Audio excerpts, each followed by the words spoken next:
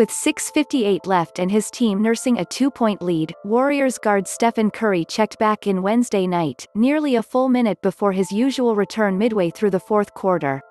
Golden State head coach Steve Kerr knew this game could have playoff implications, and the Warriors needed Curry on the floor. But after outdueling Portland guard Damian Lillard much of the night, Curry looked uncharacteristically human when it mattered most, missing crucial shots late as Golden State lost 108 to 106 to the Blazers at Moda Center. With the Warriors up 3 and 101 left, Curry clanged a tip shot off a missed three-point try from Kent Bazemore. After Andrew Wiggins corralled the offensive rebound and found Curry at the top of the arc, he missed a three-point try of his own.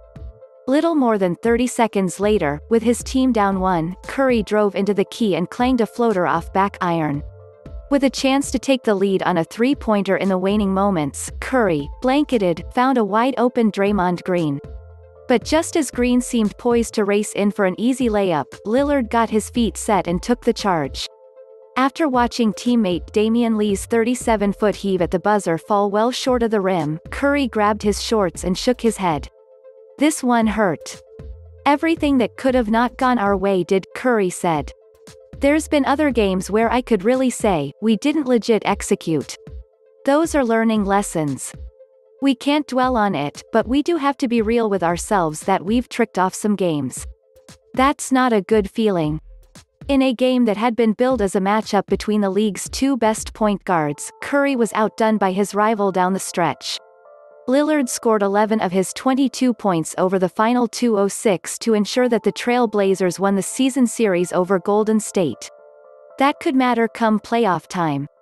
In a crowded Western Conference, fifth-place Portland now sits two games ahead of the ninth-place Warriors. A tiebreaker between the two teams, if it comes to that, would go to the Trail Blazers. But at the moment, the Warriors are more concerned with navigating a six-game stretch against five of the West's best teams.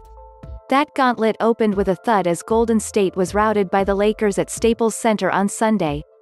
After a day off and a practice, the Warriors opened Wednesday with a 15-2 lead over the Trail Blazers, only for their supporting cast to falter.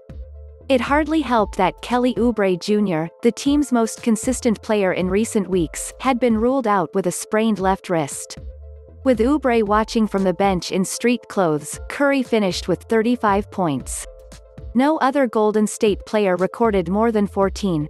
With uneven production, the Warriors became predictable in the game's critical stages. The Trail Blazers sent waves of double teams at Curry,